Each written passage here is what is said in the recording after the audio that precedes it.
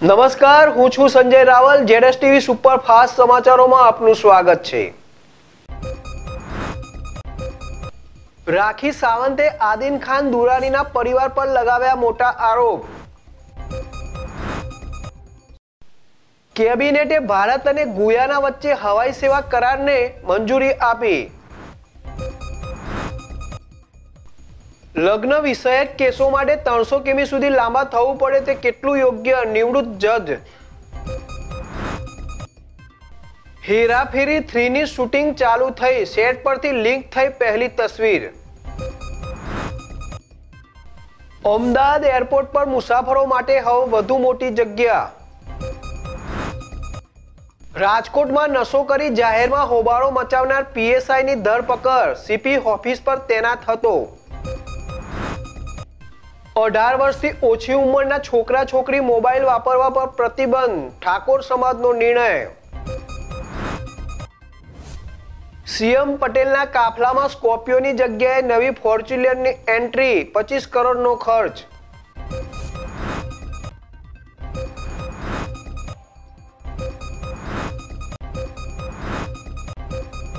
Valsad police ટીમને car ઉપર શંકા જતા કારને ધમડાચી હાઈવે પર અટકાવી કારમાં તપાસ કરતા ચોરખાનામાં છુપાવેલી એકસો તોતેર કિલો ચાંદી જેની કિંમત એક પોઈન્ટ દસ કરોડના મુદ્દામાલ સાથે ડ્રાઈવર સહિત બે વેપારીઓ મળી કુલ ત્રણ ઇસમોની અટકાયત કરી આગળની કાર્યવાહી હાથ ધરી હતી.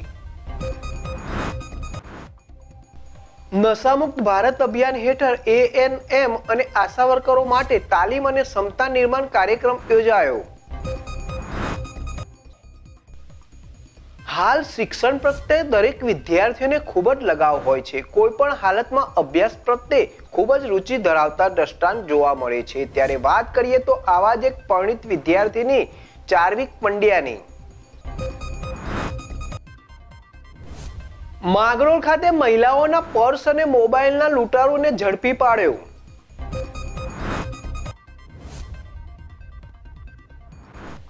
સાબરકાંઠા જિલ્લાના હિંમતનગર તાલુકાના પેથાપુર ગામમાં એસબીસીસી કાર્યક્રમ યોજાયો હતો. સ્વસ્થ જીવન, સ્વચ્છતા, વ્યસનમુક્ત જીવન, હેન્ડવોશ જેવા કાર્યક્રમો યોજવામાં આવ્યા હતા. બગસરા પંથકમાં વાતાવરણમાં મિશ્ર ઋતુને કારણે સરકારી આરોગ્ય કેન્દ્રમાં ઓપીડીમાં વધારો થતો જોવા મળી રહ્યો છે. દરરોજ બસોથી ઉપરાંત દર્દીઓની તપાસ કરવામાં આવે છે. સાબરકાંઠા જિલ્લાના હિંમતનગર મોતીપુરા પાસે આવેલ બહેરામુગા વિદ્યાલય ખાતે આજે દિવ્યાંગ ભરતી મેળો યોજાયો હતો, જેમાં દિવ્યાંગ ભરતી મેળામાં બસો પચાસ દિવ્યાંગ ઉમેદવારો ઉપસ્થિત રહ્યા હતા.